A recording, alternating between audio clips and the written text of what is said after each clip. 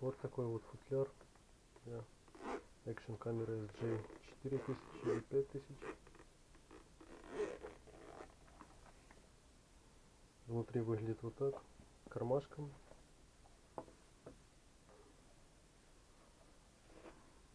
Достаем ненужные пластинки.